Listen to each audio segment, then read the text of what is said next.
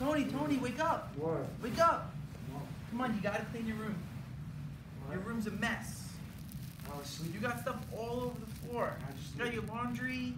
I just You gotta clean. You know what? I'm just gonna do it myself. Always clean your room. Why can't you just clean your room? Sensei, I'm just tired. I need to sleep.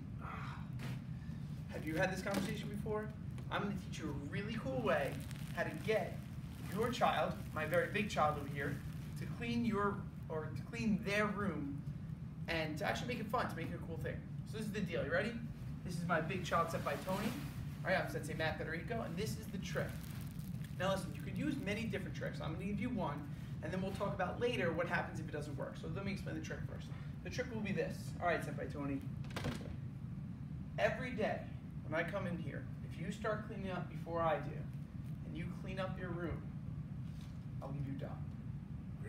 However, if I come in and before you're even up, if for some reason, before I even tell you, if I have to put away all your stuff every day, you have to give me a dollar. Do you have a dollar? Yeah. All right, so we'll start you out here. You start out with 10 single dollars. Now, I'm mom and dad, so I have a lot more dollars than you. Okay? So if you keep winning every day, I'll give you a dollar every day your room is clean beforehand. All right? All right. I'll see you tomorrow, okay? You can go back to bed.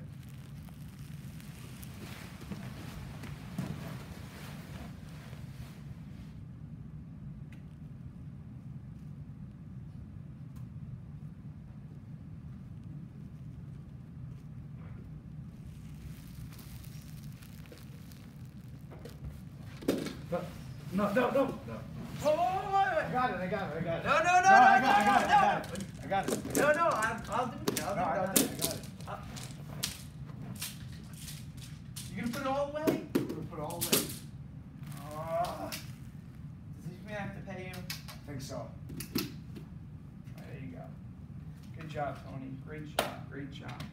So listen, you want to take anything that's a problem and turn it into something that you're excited to do too. So yeah, you know, I have to give Tony a dollar, and you're like, oh man, I'll eventually run out of money this way. But you have to think about it this way.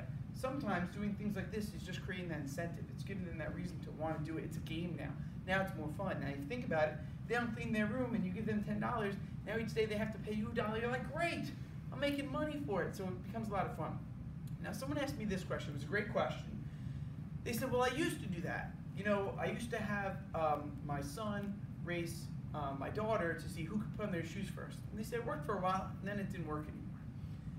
That happens in life. Every day or every uh, session you have, eventually you're going to need an upgrade. So you don't have the same phone you started with. You know, you don't have the iPhone 1, but now you have the iPhone 8 because you need to update your system.